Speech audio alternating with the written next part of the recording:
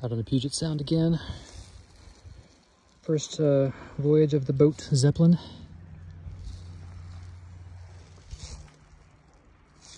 Pretty comfortable so far. Never owned an inflatable kayak before, but this one's very sturdy and very, very stable.